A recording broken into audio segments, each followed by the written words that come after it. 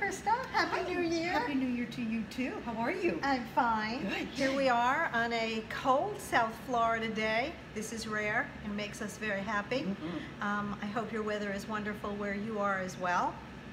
Um, and hope you had nice holidays and we're off to a wonderful 2019. Goodness gracious. We talked about our topic for today and we wanted to talk about fear.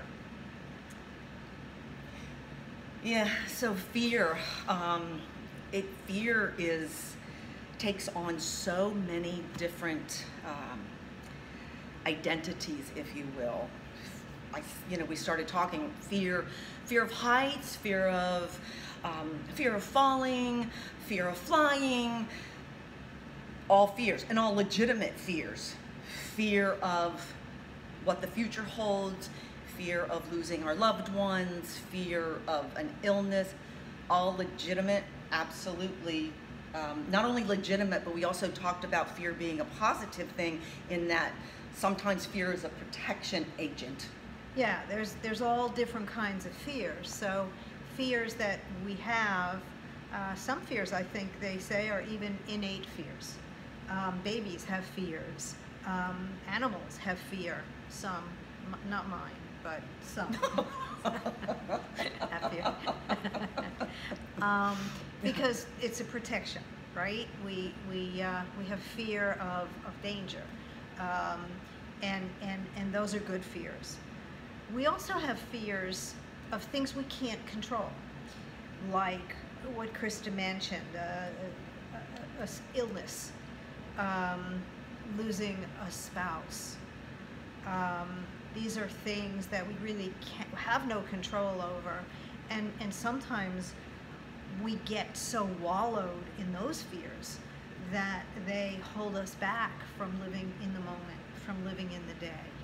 And I, I was recently talking to somebody who, who suggested drawing a horizontal line and putting above the horizontal line all of the things that you can change, all of the things you can control, and below the horizontal line, the things that you don't have control over.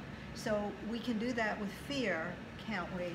And and whatever's below the bottom line, try and send that out into the universe because it's not going to serve us. Absolutely not. The fears, though, that are above the line are the ones that we need to be focused on because those are the ones that we can address to bring about change.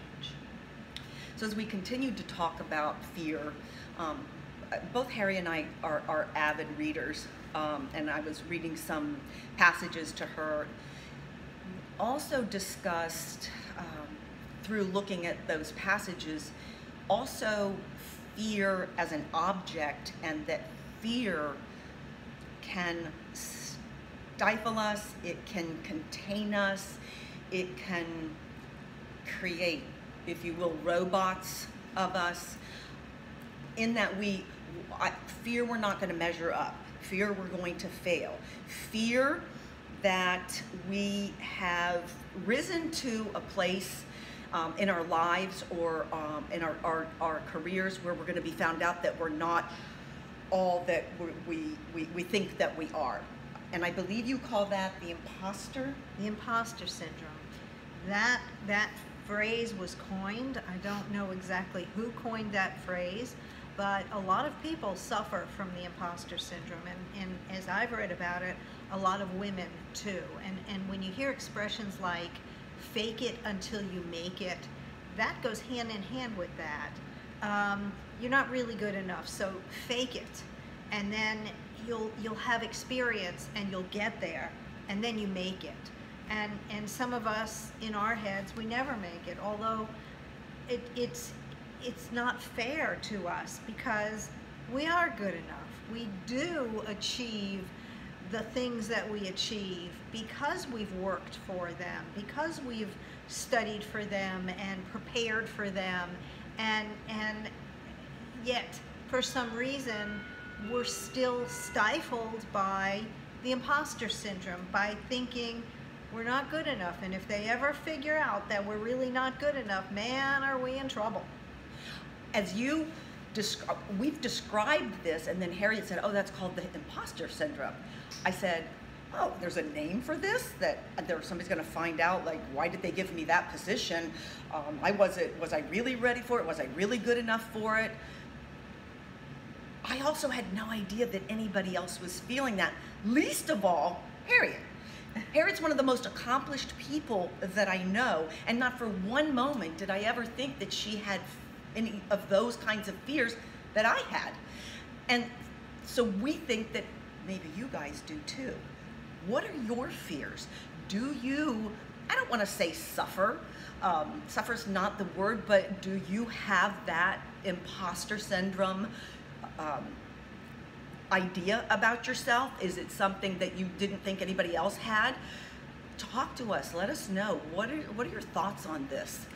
Yeah, and and and maybe you've gotten through that career.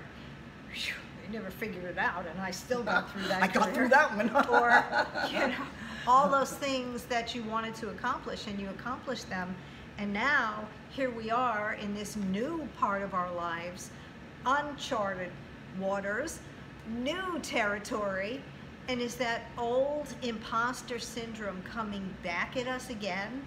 Um, oh, cool. Now you've got time on your hands, but you're still not good enough.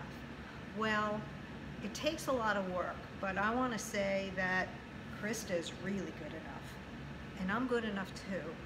And um, and you're good enough. yeah, so let's continue to be good enough and move into the new year with good enough, and let's not be finished. Oh, I like that. That's a great resolution. Uh-huh. We're good enough. We're good enough. We're good enough. We'll see you next time.